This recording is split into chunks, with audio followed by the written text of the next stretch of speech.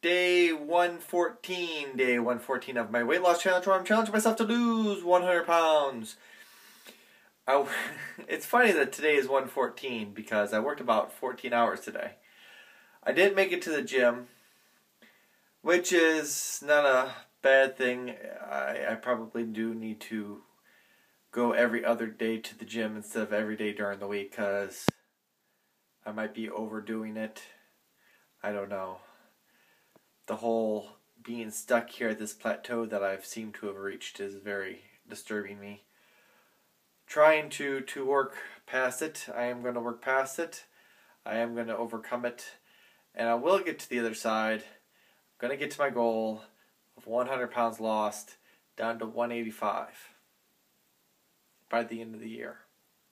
Yep, I got everything. So until then, until next time, let's get moving.